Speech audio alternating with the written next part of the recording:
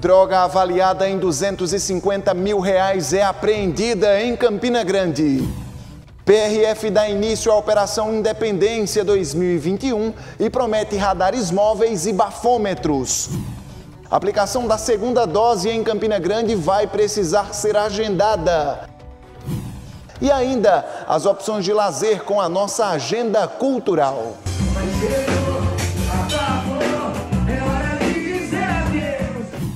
Hoje é sexta-feira, 3 de setembro de 2021. O Borborema Notícias começa agora.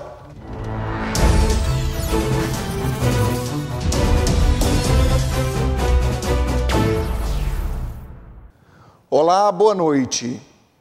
Um grande prejuízo para o tráfico de drogas foi gerado por conta de uma grande apreensão de crack que aconteceu hoje pela manhã aqui em Campina Grande. Ao todo, 15 tabletes foram apreendidos e uma mulher acabou presa. Foram apreendidos 15 tabletes de crack, um revólver calibre 38, munições, balança de precisão, material para embrulhar a droga e um tambor onde tudo estava guardado. O crack foi avaliado em 250 mil reais. A ação da Delegacia de Repressão Entorpecentes de Campina Grande aconteceu ontem à tarde no sítio Logradouro, que fica na região de Catolé de Boa Vista. A polícia já vinha trabalhando nesse caso havia dois meses. Uma mulher foi presa. O objetivo principal foi desarticular uma organização criminosa que tentava é, se instalar, principalmente aqui em Campina Grande. É, a, a, a, raiz dessa organização pertence é, de um estado vizinho e queria se ramificar aqui na Paraíba, começando por Campina Grande.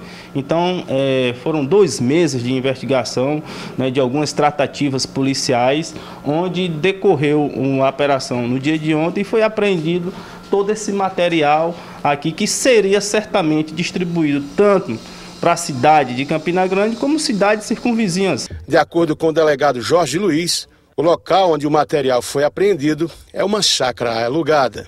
É uma, uma, estrutura muito, muito organizada, né? muito organizada e muito rica. A mulher presa preferiu manter-se calada durante interrogação na Polícia Civil. Começou hoje a Operação Independência em todo o Brasil. Aqui na região de Campina Grande, a Polícia Rodoviária Federal promete usar radares móveis e bafômetros nas fiscalizações das rodovias. Essa operação iniciou no dia de hoje e vai até as 24 horas do dia 7. E a nossa nosso principal objetivo nessa, durante essa operação é garantir a fluidez e a segurança no trânsito de todos aqueles usuários que utilizam a rodovia federal. No ano passado, a gente teve um fluxo menor em função da pandemia ou foi normal e o que é aguardado para esse ano? Sim, é, ano passado teve um fluxo menor e esse ano, até pela abertura que está tendo, nós acreditamos que terá um maior fluxo e com isso a gente necessita de uma maior atenção de todos os usuários. Quantos homens estarão é, designados para esse trabalho e como é que a PRF vai atuar? A gente vai ter aqueles radares é, flutuantes, como é que vai funcionar o trabalho de vocês? Então, nós teremos aqui na circunscrição de Campina Grande é, mais de 50 policiais nessa incumbidos dessa operação e com certeza teremos a utilização de radares móveis, o utilizar muito o etilômetro para a gente tentar diminuir a quantidade de pessoas que ingerem bebida alcoólica e vão conduzir veículos. Todas essas fiscalizações serão intensificadas. Qual é a orientação para quem vai pegar a estrada? Então, para quem vai pegar a estrada, inicialmente uma revisão básica no seu veículo tem que ser feita. Verificar pneus, pastilha de freio, paletas de, de limpador de para-brisa. E é bom ressaltar que o cinto de segurança é obrigatório para todos os ocupantes do veículo, inclusive aqueles que estão no banco traseiro. As polícias civil, militar, além do Corpo de Bombeiros, realizaram ontem uma grande operação para combater crimes de homicídio e também tráfico de drogas no sertão do estado. 11 pessoas terminaram presas. Mais uma grande operação policial na Paraíba desarticulou uma organização criminosa responsável por crimes de homicídio e comércio ilegal de drogas na região de Pombal. A Operação Altiplano é fruto de uma investigação da Polícia Civil e foi deflagrada ontem em ação conjunta com a Polícia Militar e o Corpo de Bombeiros. De acordo com as investigações, as ordens para que os crimes fossem cometidos partiam de dentro de uma penitenciária que fica em João Pessoa. 11 pessoas foram presas na operação e armas, drogas e munições foram apreendidas. Entre os presos estão um irmão e um filho de Raimundo Nonato da Costa, vulgo Coroa Nonato, morto em confronto com as polícias no dia 12 de agosto, durante uma operação policial na zona rural de Pombal.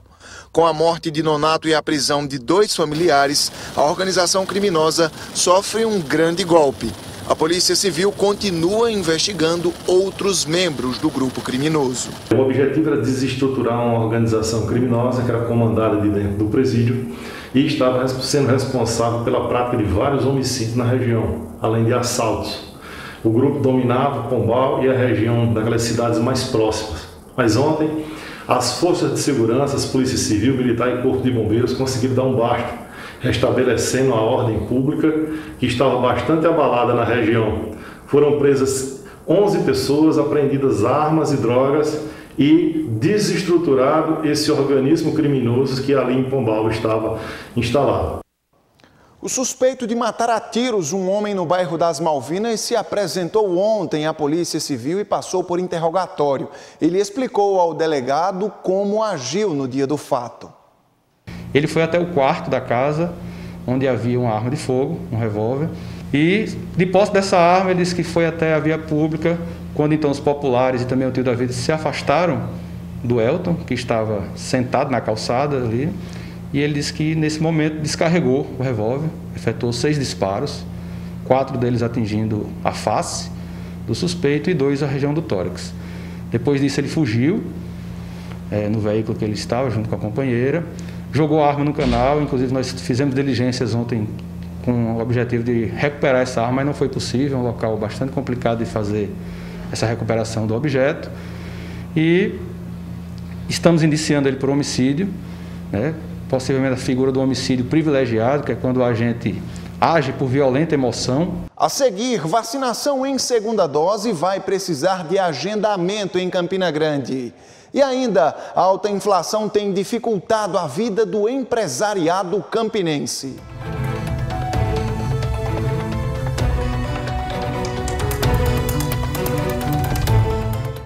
A alta inflação tem quebrado muitos empresários Brasil afora. E aqui em Campina Grande, não é diferente. Na reportagem a seguir, você vai ver como está a situação do empresariado campinense e como eles estão tentando driblar a crise econômica que vive um dos seus momentos mais críticos.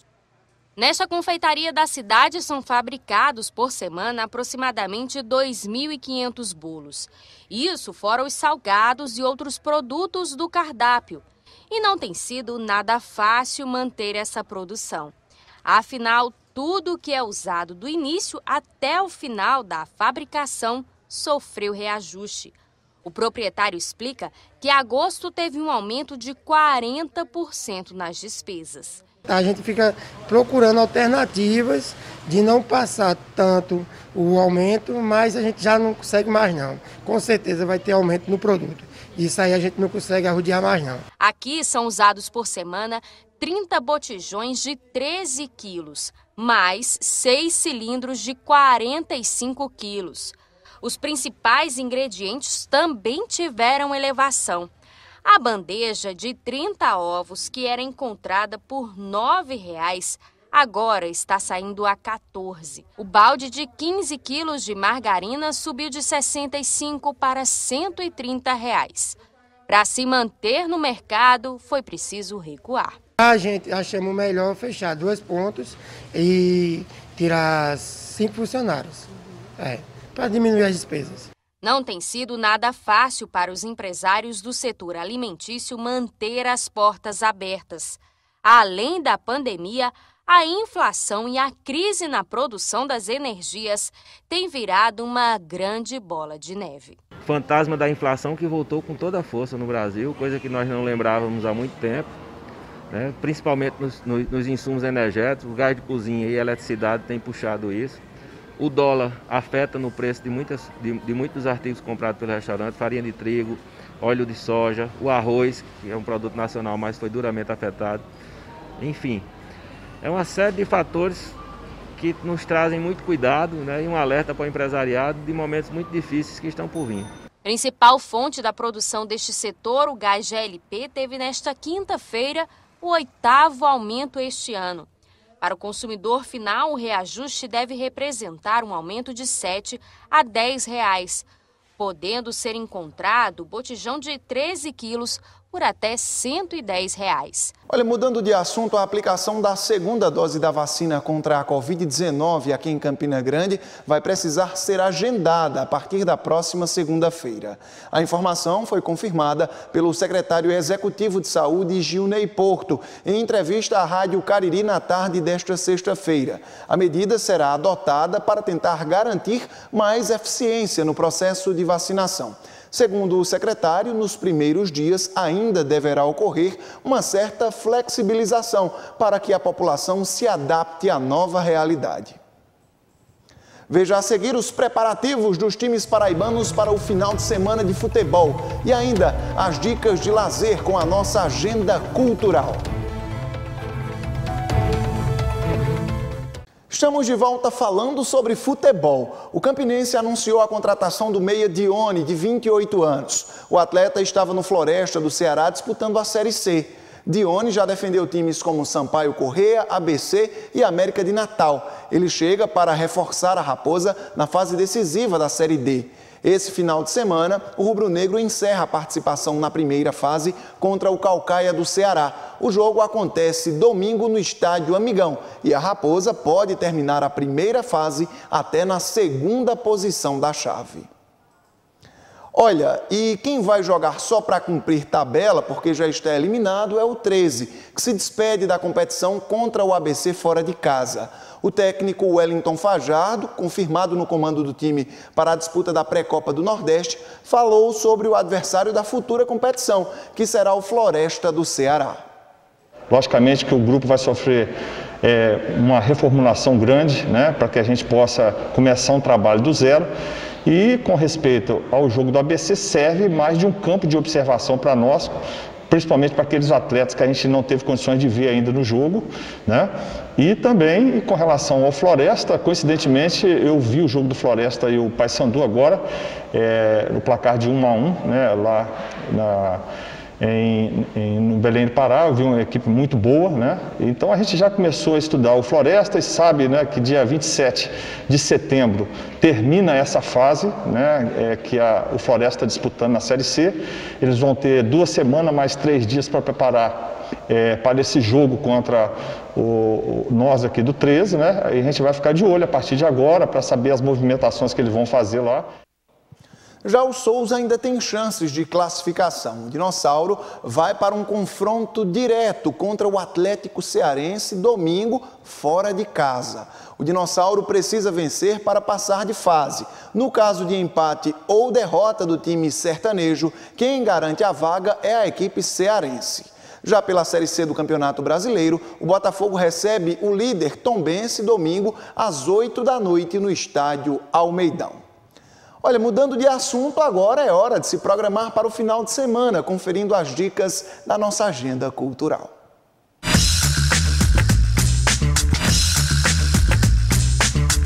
Sextou e vamos conferir agora as opções para você curtir o seu fim de semana. Hoje, Rodrigo e Thiago esperam por você com muita música boa no Black and White Bar de Campina. O cantor Lipe anima a turma do Descubra Pub. Messias Melo canta muito pagode no Hora Extra Bar e Restaurante. No sabadão tem samba de mesa com Barreto, The Jeff e inimigos da vizinha no Burgif. Albi Rose se apresenta no Campina Grill. É a partir das 8 horas. E se você quer curtir com a família, o Erley Silva e Igor Ridan se apresentam no Complexo Food Park 3. Será que você está bem? No domingão ainda dá para curtir com o novo Ipiranga Clube, com o especial Eles e Elas. Confere só o convite. vai ser João Oliveira, esse cara de chapéu aqui, ainda o mestre marrom, ainda Léo Oliveira e nossa querida Adailma Lins. E ainda dá para encerrar o domingo curtindo garagem de Bamba no Container Grill. Programe-se e aproveite. É final da edição de hoje do Borborema Notícias. Você fica agora com o SBT Brasil e, claro, a gente volta a se encontrar na próxima segunda-feira aqui na TV Borborema, a TV que tem a cara de Campina. Boa noite, um ótimo final de semana.